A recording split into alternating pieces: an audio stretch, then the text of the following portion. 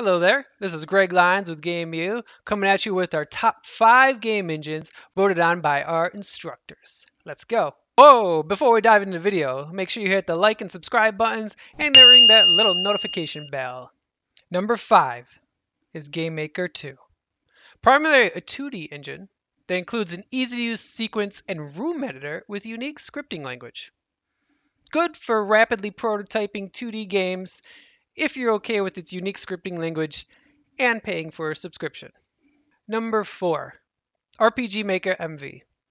If your goal is making a 2D tile-based RPG like from the old 16-bit days, look no further. You're not going to find anything better than RPG Maker MV. It has designer-friendly characters and a map creator.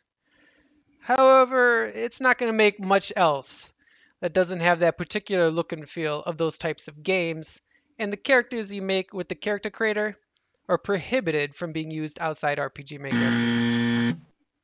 Okay, number three is Construct 3. if you're looking for a lightweight engine that deals exclusively with 2D, Construct 3 allows customization using visual behaviors and coding, and you can edit sprites right in the editor.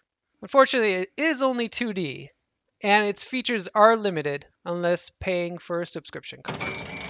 Number two is Unreal Engine.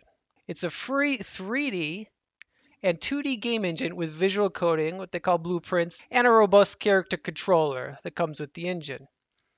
Now, it's the heaviest engine, so it requires a decent computer to run, and 2D support is meh you'll have better offerings with 2D with some of the things we've already mentioned. And then there is only one.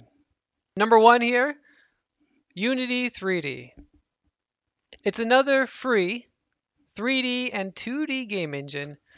And this one has the largest community support, so you could Google questions and get answers really quickly and a strong cross-platform support, which means you could build to many different mobile devices, web, what have you. However, uh, it does contain an outdated online system and comes with a lame character controller that you'll want to quickly replace. And that is our top five.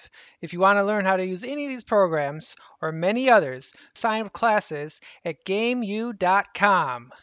If you like this video, check out some of our others and I'll see you later. Cheers.